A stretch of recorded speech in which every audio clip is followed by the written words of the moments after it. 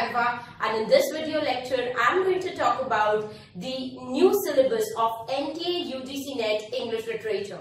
But before I do that, I would like to congratulate all those students who have cleared NET and JRF this time. You know, uh, in the last video, I shared with you all the screenshot of the results of our students and I was so amazed to see the overwhelming response and feedback. You know, I uh, developed this platform because this platform amalgamates my passion for literature as well as teaching. And with the grace of Almighty God, I'm so happy that this time we had a bunch of students clearing NET and JRF and all these students made us really, really proud. NTA released the new syllabus for the next UGC NET English Literature exam and this syllabus went viral. Okay, I received in two days, in previous two days, I've received more than 1000 screenshots of the same syllabus and almost all the students asking the same question. What is this new syllabus? What about the new pattern? And I can really well see from their messages that the students are extremely tense and they should be because syllabus is one of the most important part of any exam preparation. And if you don't have clarity on the syllabus, then, you know, how will you prepare? So I took time to analyze the syllabus, I took time to decode it. And now in this video I'm going to share with you some really really important facts and truths about the syllabus. And I'm pretty sure that if you would have sat down calmly and have analyzed the syllabus, you would have come out with the same stats. Before I talk about the new syllabus, I would like to quickly take you through the changes that has happened in UGC over a period of time so that you can understand the new syllabus even better. Now, since inception till 2011, UGC conducted a NET exam in three papers. So, paper 1 was general, paper 2 and 3 were subject papers, in which paper 2 was objective and paper 3 was descriptive. Okay, so the syllabus they designed was according to this pattern. So, if you look at the subject syllabus, the old syllabus that we still followed till the new syllabus was released, it had two divisions, paper 2 topics and then paper 3. So paper 3 topics were descriptive because essay type answers were written at that time. Then in 2011, there was a major change. What they did, they made paper 3 objective. So three papers were conducted from 2012 till 2017 and all the three papers were objective. But they clearly mentioned in the notification that the syllabus remains the same. So whatever syllabus they were earlier following, the same syllabus was followed. Now came the third change. In July 2018, paper 3 was eliminated and only two papers were conducted, paper 1 and 2. And they still uh, mentioned that the syllabus of paper 2 is going to include everything which was earlier included in paper 2 and 3. Okay, so again there was a mention that no change in syllabus. Till July 2018, we were following the same old syllabus that was according to the descriptive pattern. Then came another shift where UGC gave the NET conducting authority to NTA, that is National Testing Agency. And National Testing Agency released their own syllabus. Now there's a myth guys, the new syllabus is not released right now. It was released before the December's NET exam was conducted because my students shared the syllabus with me and we had a long discussion over the new syllabus which was designed by NTA. So the hype was just made in the past two days. This syllabus was already released before December NET was conducted and December NET was conducted according to the new syllabus of NTA. Okay, so if you look at the journey, since 2004, we were following the same syllabus and for the first time in November 2018, NTA released another syllabus in which NTA released all the topics that would be covered in the coming exam and December's exam was according to the new syllabus. I've already made a detailed video analyzing the December NET exam in which I broke the myth of students that the paper was hard. The paper was extremely easy it was simple. The only thing is that there was a shift in paper pattern. Okay so please make sure that you don't have this myth anymore in your mind that the syllabus was recently released. It was there on internet since november 2018 Now if you look at the old syllabus as well as the new syllabus of NTA UGC NET, you'll find that both these syllabus are extremely indicative and ambiguous.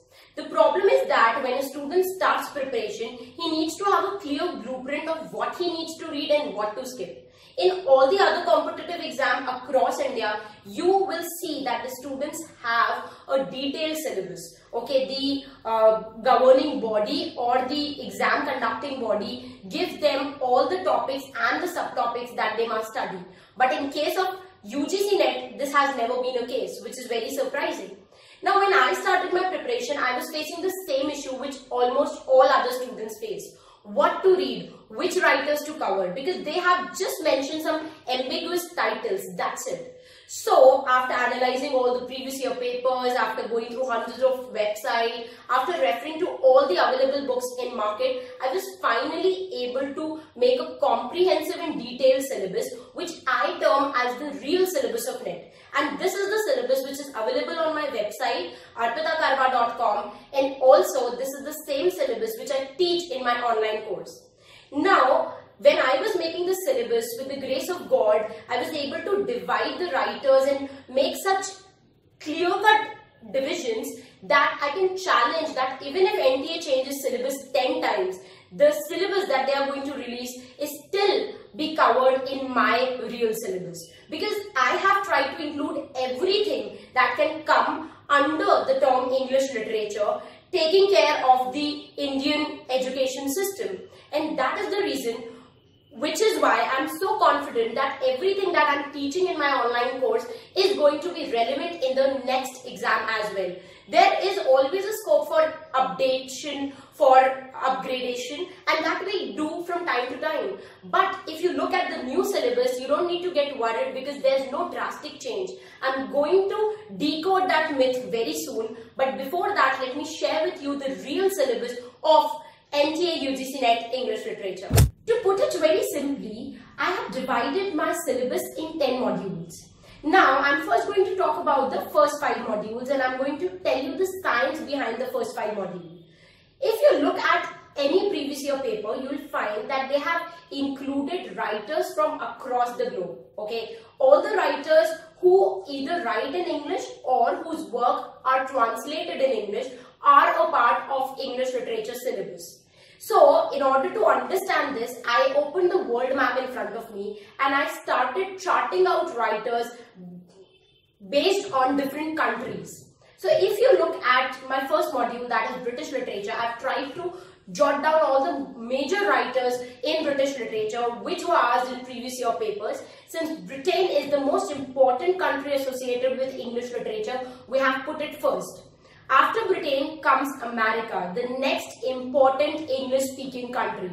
So Britain becomes British literature, America and the literature produced in America becomes American literature. And since we are from India, Indian literature holds special importance. So the fifth module is Indian literature. But after looking at these three countries' literature, you must also found, find that in the world map, there are various other countries which have a lot of good writers but which we have not included in the syllabus.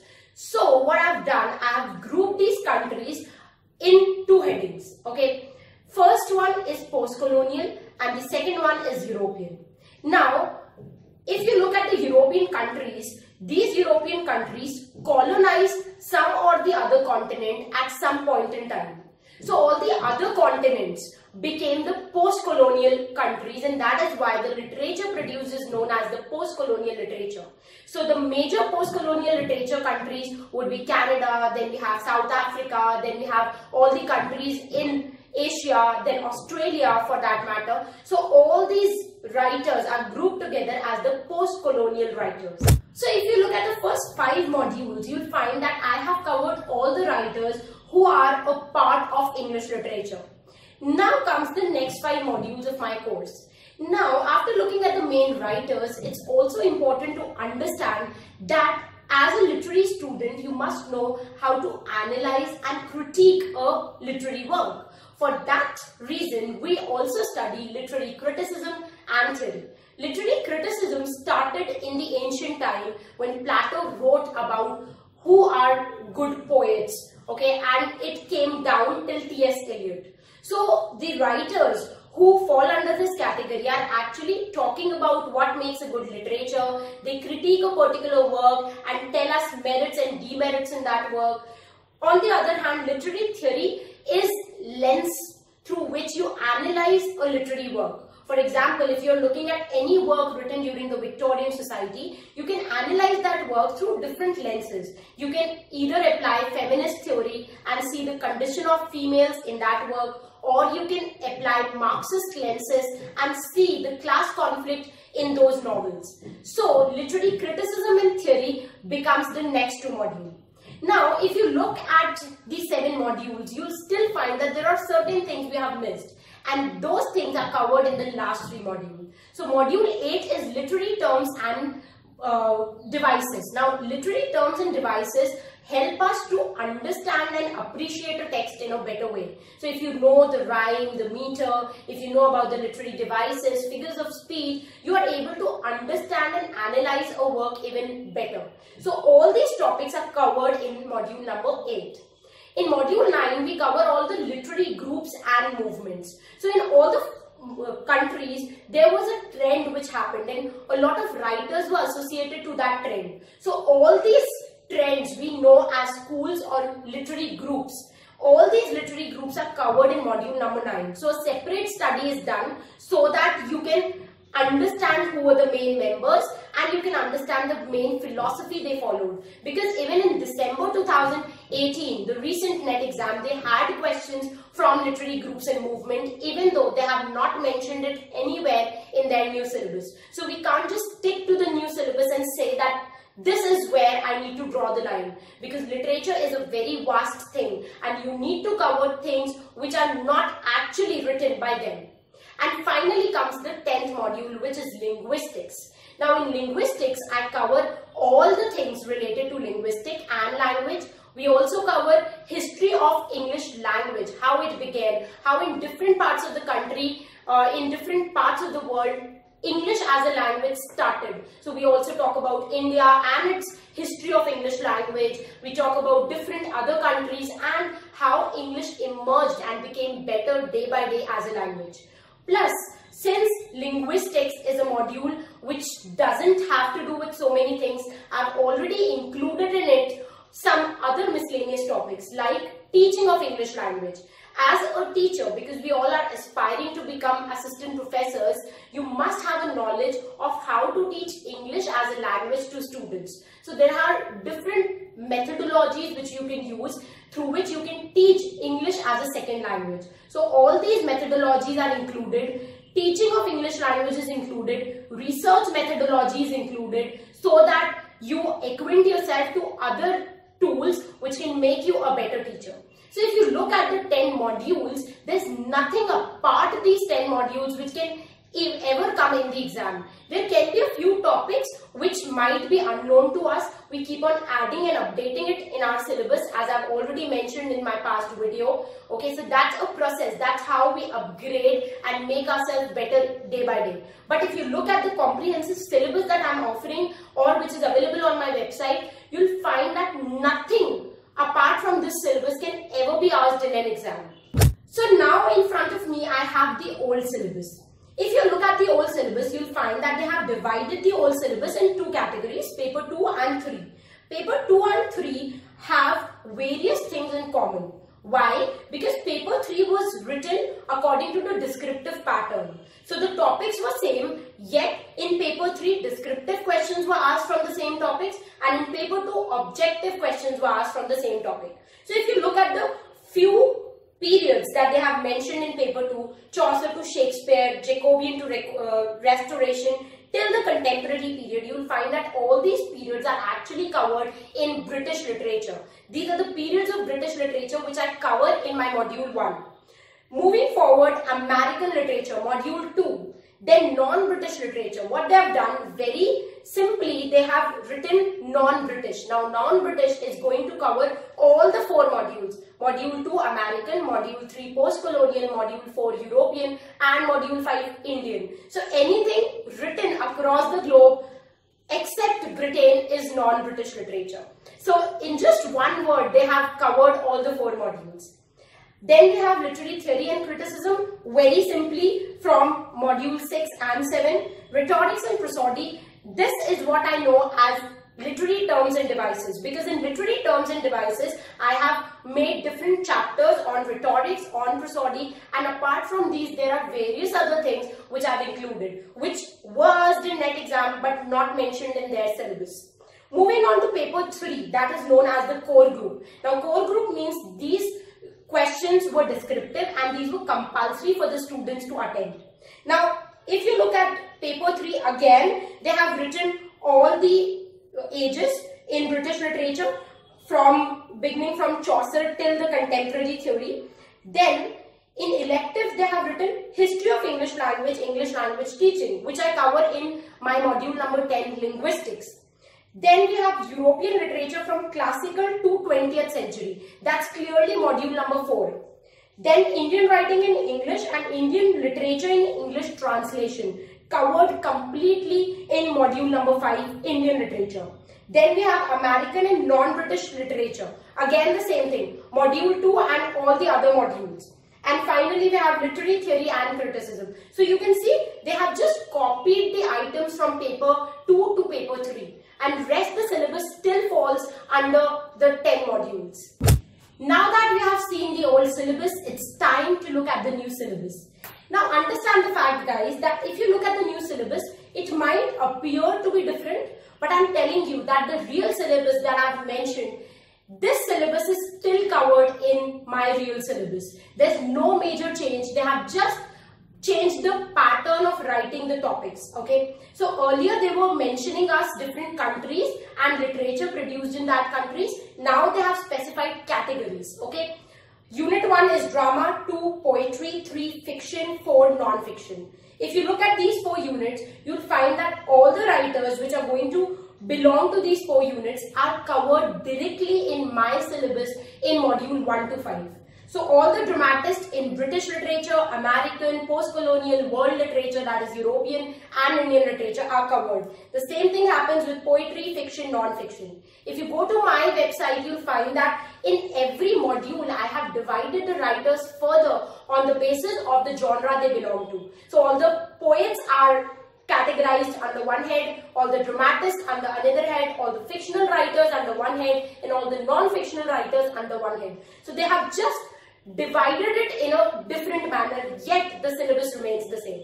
Now comes the note. Now this note is very ambiguous, but I can interpret two things out of this note. The first is that they are going to assess your critical reading and critical thinking. How are they going to do that? If you have seen the recent exam paper, you must have observed that they have started putting up passages from novels, from dramas and on the basis of that passage you need to mark a correct option. This is how they are going to assess your critical reading and critical thinking. Now as far as writing skills are concerned, since the paper is now going to be online, I am damn sure that the paper is not going to be descriptive because in online exam, the paper cannot be made descriptive. Okay, so make these two things very clear in your head that there's nothing new that you need to be afraid of. I prepare my students in a way that their concepts are clear and if your concepts are clear then you can easily attempt questions which fall under critical thinking and critical reading. Now we come on to the other units. The next they have mentioned is language. Now the concepts, theories, English in use, all these are directly covered in my module 10 linguistics. So before they have even written it, I knew that it has to be a part of my course and I've already added it in my 10th module linguistics. So all the basic linguistic theories, all the linguistic terms, devices, all of them are covered in detail in my module number 10. So how words origin and how words are formed, morphology, phonology, all of these are covered in my 10th module that is linguistic. Coming on to next, English in India, History, Evolution and Future. Guys, when I was talking about my module 10, I mentioned that in this I cover the evolution of English as a language. And I don't only cover English in India, I cover how English as a language emerged in all the different parts of the world. So India is obviously covered in it. Next we have cultural studies. Guys, cultural studies is a part of literary theory. You cannot understand new historicism, Marxism without having a solid knowledge of cultural studies because it is by analyzing a culture, by understanding a culture that you understand literary theory. So cultural studies is a part of literary theory and it is very much connected to theory. So cultural studies theories both are covered in my module 7. Next we have literary criticism. Very simply it's my module number 6. All the critics beginning from Plato till T.S. Eliot is there in module 6. Then we have literary theory post World War II. When I teach literary theory in my course, I begin with the first literary theory that is new criticism and then I slowly move down to post-World War II literary theories. So all the contemporary theories are covered. You don't need to worry about that. There's no change in this. This was already been asked in previous NET exams also. Finally, we have research methods and materials in English. Guys, Research methods, though I always cover it in module number 10, that is linguistics, under the miscellaneous heading where I talk about how to research and how to teach English to students because we all are aiming to become assistant professors. Yet research methods for those of you who are not studying it for paper 2 is not new because you have been studying research methods in paper 1 as well. So if you look at the syllabus, there's no specific change. And very simply, the syllabus that I have designed still covers everything which is there in this syllabus. Though there have been writers which I need to add and that's an upgradation that is going to happen throughout the lifetime. Every time in NET exam they are going to ask 10 new writers and that is how we keep on building up our course, keep on upgrading our course and that is how we keep on learning. So this was my take on the new syllabus. You don't need to worry the way you're preparing. Keep on going like that. Just remember one thing, stay away from rumors and gossips because your time and energy is limited. And I want you to focus entirely on clearing this exam rather than indulging in any type of gossip and rumors, exhausting yourself, making yourself tense and then coming up to no conclusion. So that's it for this video lecture. We'll meet very soon in the next video lecture. Till the time we meet next, happy learning, keep loving literature, stay tuned to arpitakarwa.com.